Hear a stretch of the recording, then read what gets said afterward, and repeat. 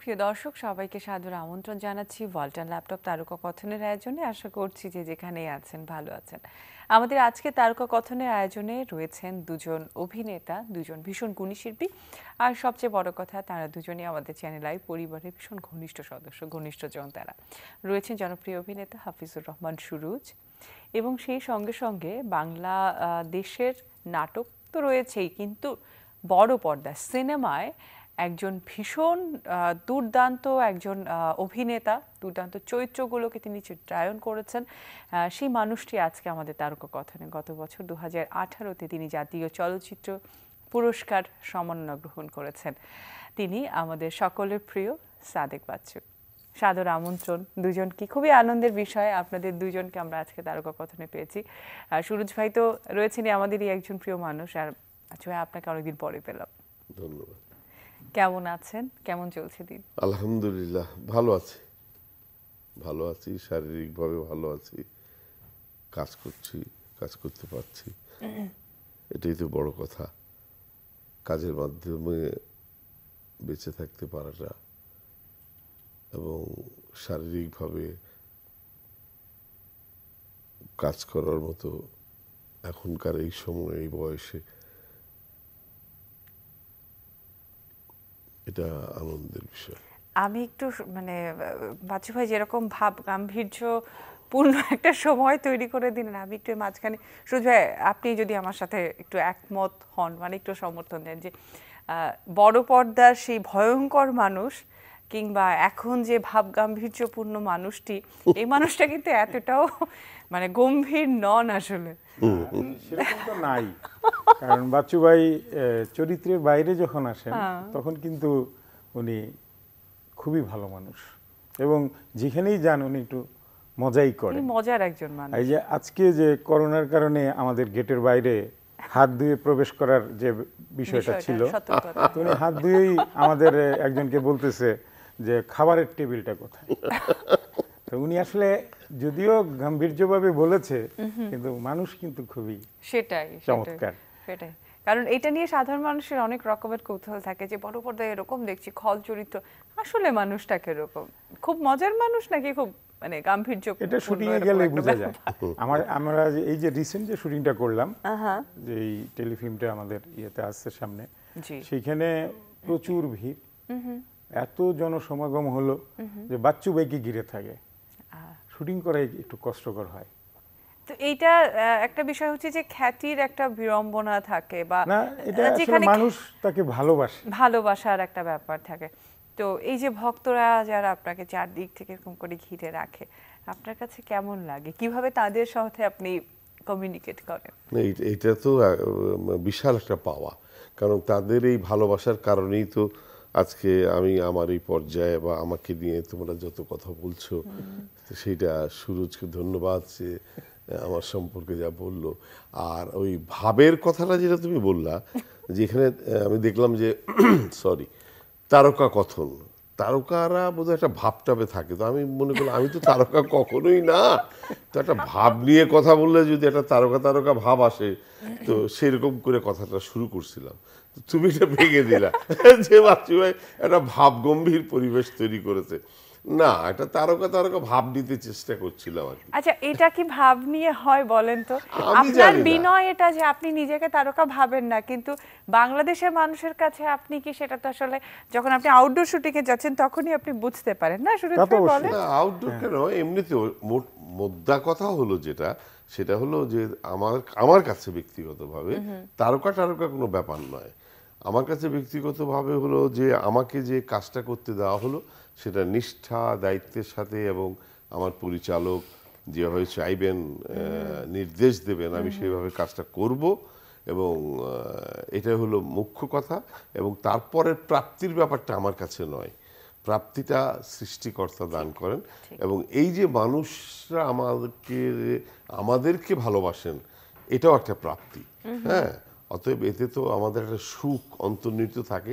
আর বিড়ম্বনার ব্যাপারটা এটা তো থাকেই। তো সেই বিড়ম্বনার ভেতরেও একটা সুখ আছে। না তা তো বটে তা তো বটে সেটাই বা কয়জনের হয়। আচ্ছা যেহেতু ওই যে মাত্র কয়দিন আগের শুটিং এর কথাই হাফিজুর রহমান সুরজ বলছিলেন সেটি কিন্তু আগামী আঠারো মার্চ বুধবার লাক্স মাছ দুপুরের টেলি ছবিতে দর্শক দেখতে পাবেন। দিল মোহাম্মদ দিলুর রচনা এবং পরিচালনায় টেলিফিল্ম স্মৃতি দিয়ে ঘেরা। এই শুটিংটা নিয়ে একটু জানতে চাইব। এই শুটিংটা খুব ঢাকার কাছে আশুলিয়ায় হয়েছে। একটা গ্রামে। হায়াত ভাই ছিলেন আবুল হায়াত ফারহানা মিলি বাচ্চু ভাই আর আমি। আমরা চারজনই ছিলাম মুখ্য কাজগুলোতে। তা আমরা দেখলাম এটা মুক্তিযুদ্ধের উপরে গল্প। আচ্ছা আচ্ছা। মহান স্বাধীনতা দিবস সামনে এসে গেছে। সেই উপলক্ষেই সে লেখাটা দিলুভাই বরাবরই ভালো লিখেন। দিল মোহাম্মদ দিলু। লিখে থাকেন এবং তার অনেকগুলো কাজে আমিও করেছি বাচ্চুভাইও কাজ করেছে তার সাথে আগে।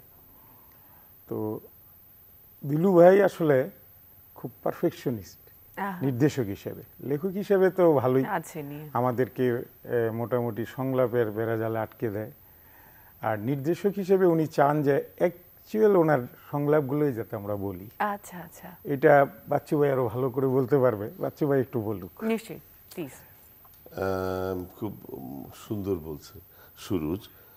দিলুর এই নাটকটায় আমি একটা নতুন স্বাদ পেয়েছি। এই গল্পটার যে বাঁধনি এবং এই গল্পটার যে সময় কাল থেকে আজকের সময় পর্যন্ত একটা বড় সময়কে বাঁধা এটা খুব চমৎকারভাবে লেখক হিসাবে উনি লিখেছেন নাটকটা এবং পরিচালনার ক্ষেত্রে যেটা বললেন আমি ওনার সাথে একমত যে খুব সূক্ষ্ম সূক্ষ্ম জায়গাগুলো উনি ছাড় দিতে রাজি নন। আমাদেরকে এক একটা জায়গা কয়েকবার করেও করে নিয়েছেন। আচ্ছা আচ্ছা। তো আমার কাছে এই নাটকটা কারণ মুক্তিযুদ্ধের উপরে প্রচুর নাটক আমি করেছি। আর যেহেতু আমি একটু নেগেটিভ ক্যারেক্টার করি রাজাগার টাজাগার আলবদর টালবদর থাকলে বোধহয় ওই প্রথমেই আমার নাম বা অবলিক দিয়েও আমার নাম হলো আমি থাকি রাজাগার আল তো যাই হোক তো এই নাটকটার মধ্যে আমি যে চরিত্রটা করলাম এইরকম চরিত্র আমি এর আগে করি নাই। করি নাই কি যে লোকটা মুক্তিযুদ্ধের সময় সরাসরি একটা রাজাকার বা আলবদর বা শান্তি কমিটির চেয়ারম্যান বা এই জাতীয় কিছু নয়। আচ্ছা। তার ছেলেও কিন্তু মুক্তিযুদ্ধে গেছে। এবং শহীদ হয়েছে। এই লোকটার একটি মাত্র সন্তান। আচ্ছা। বিবাহিত। ছেলে মুক্তিযুদ্ধে যাবার সময় পিতা হিসেবে আমি তাকে নিষেধ করেছি তুমি মুক্তিযুদ্ধে যেও না।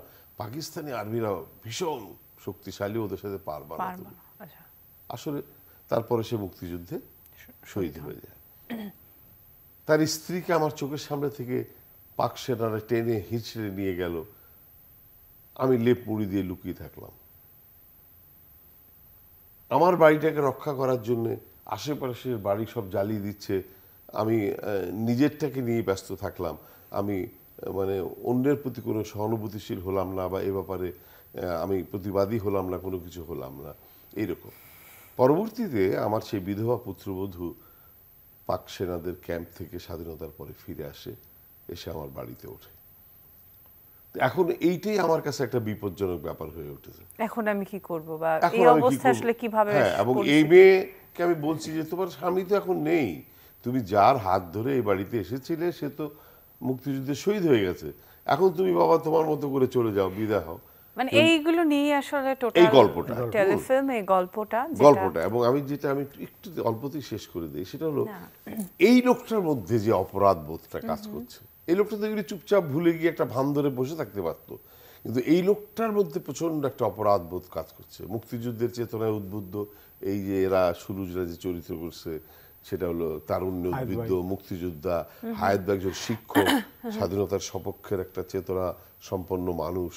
এই লোকগুলি সামনাসামনি পড়লে এই লোকটা প্রচণ্ড ভাবে ফেস করতে পারছে ফেস করতে পারে না। আমরা আমরা এবার একটু ওই প্রোমোটা দেখব। স্মৃতি দিয়ে ঘেরা. সেই টেলিফিল্মের প্রোমো দেখে হ্যাঁ আসি কোথায়? চলুন। কোন দিকে? এইখানে একদম বরাবর। এইদিকে? ডানে। লাক্স মাছ দুপুরে টেলিছবি।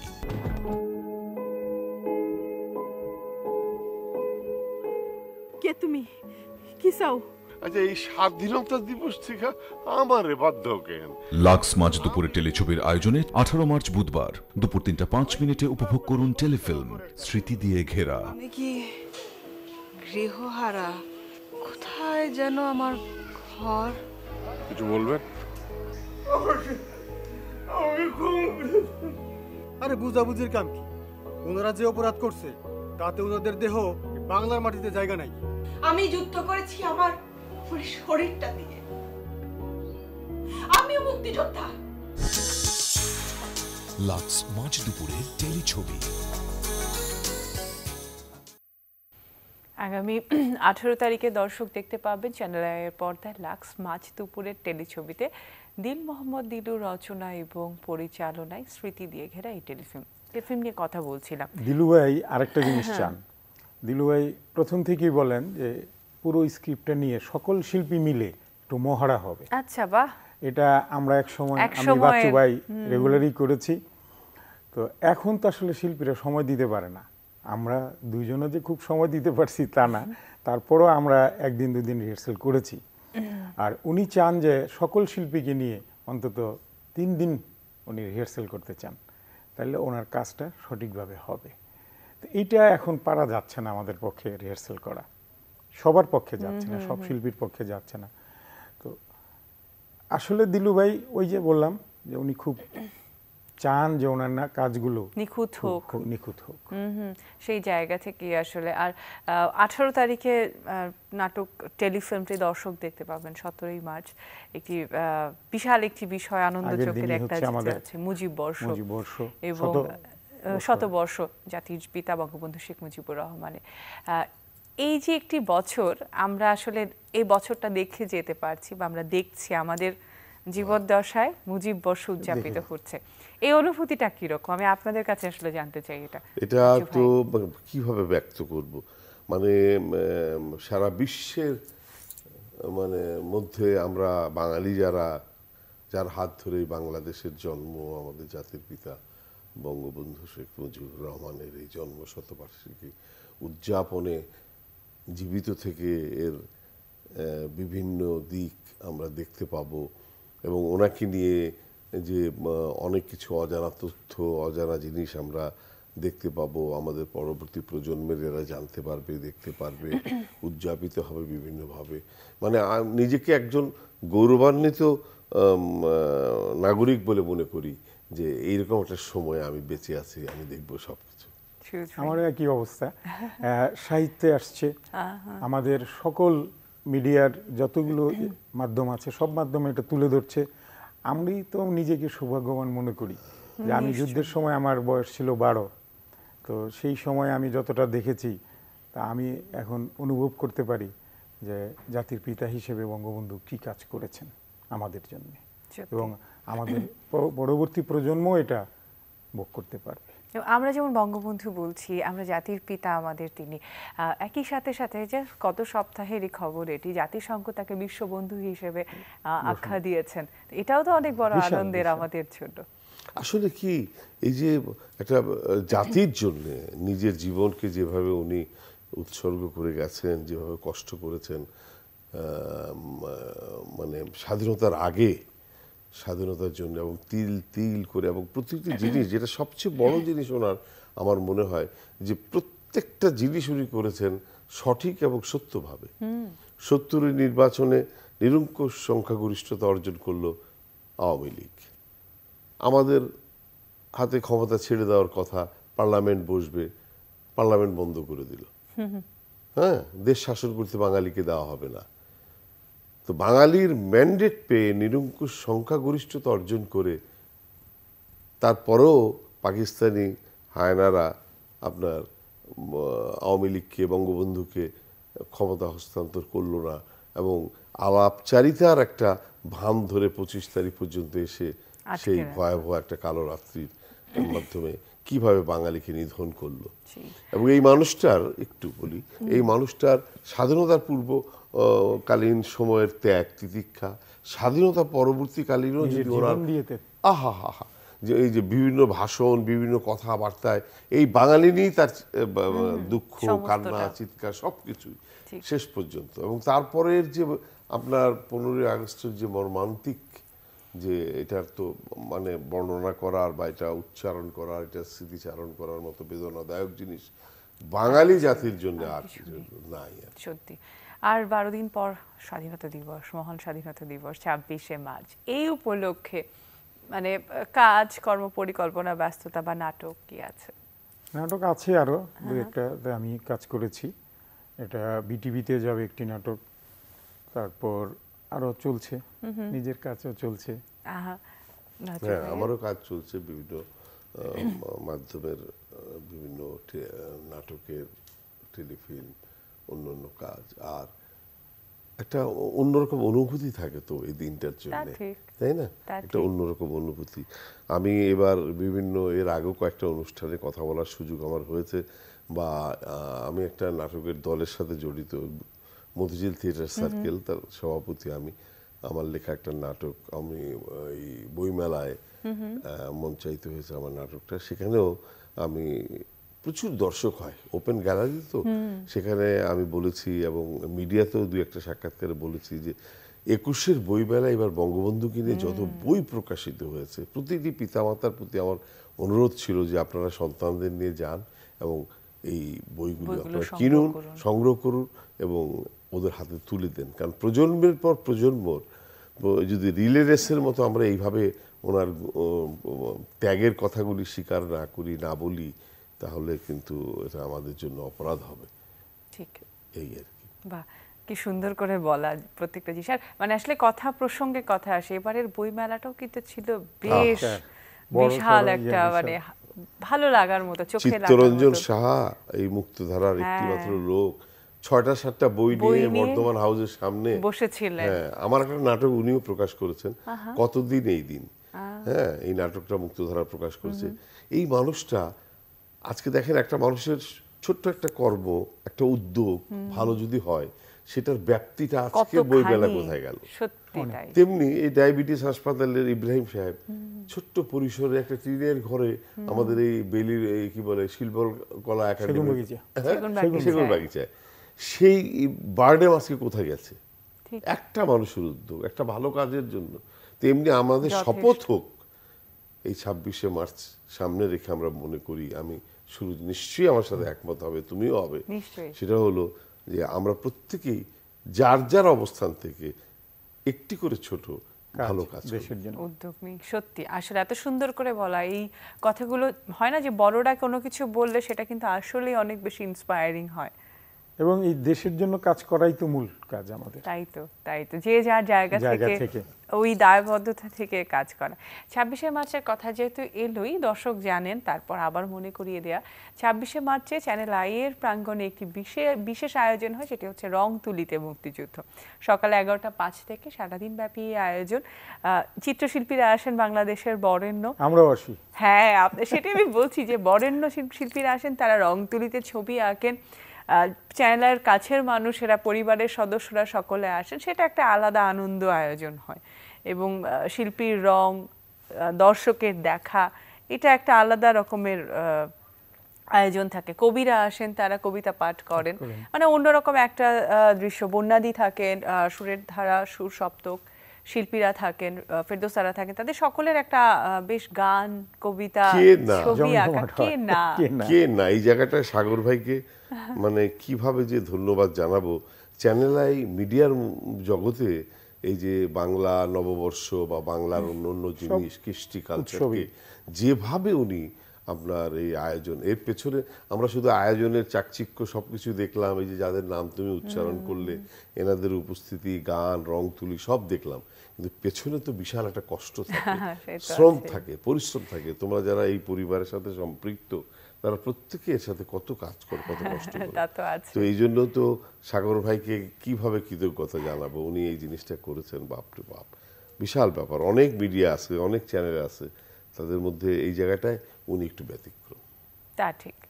যাই হোক, অনেক অনেক ধন্যবাদ। এই আমাদের সমস্ত প্রয়াসের এই একটাই কিন্তু মানে লক্ষ্য থাকে, সেটি হচ্ছে ভালো লাগা, ভালো লেগেছে বলা বা একটা তৃপ্তি থাকে না, ওই তৃপ্তির জায়গাটা প্রকাশ করা। এটাই কিন্তু লক্ষ্য। তো ওই লক্ষ্য থেকেই আসলে এই সমস্ত আয়োজন সমস্ত প্রয়াস থাকে। যাই হোক অনেক অনেক ধন্যবাদ। আপনাকে অসংখ্য ধন্যবাদ এবং কৃতজ্ঞতা। বেশ ভালো একটা সময় কাটলো আপনার সঙ্গে আজকে আমাদের সকলে। ধন্যবাদ ধন্যবাদ। সকলকে ধন্যবাদ। আমার ভাইরা যারা পেছনে আছেন তাদের ধন্যবাদ আমাদেরকে আহ, ধারণ করেছেন তাদেরকে ধন্যবাদ। আর আমি কি সুন্দর কথা বলি তুমি যা বললা এটা তো আমি রেকর্ড করে নিয়ে গেলাম। অনেক ধন্যবাদ অনেক অনেক ধন্যবাদ। হাফিজুর রহমান সুরজ আপনাকেও এবং প্রিয় দর্শক শেষের দিকে চলে এসেছি। সকলকে ধন্যবাদ জানিয়ে আমরা আজকের মতো বিদায় নিচ্ছি। ভালো থাকবেন আমাদের সাথে থাকবেন।